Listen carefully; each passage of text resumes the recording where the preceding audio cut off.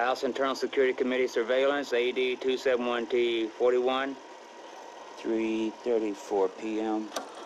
Unidentified male, Caucasian, uh, six foot three, brown hair, late 30s, early 40s.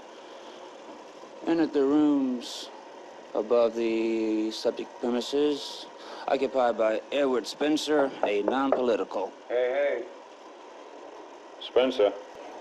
One unidentified male, sex deviant, white, about 45. One unidentified male, white, in early 20s. One unidentified male, black, in late 20s.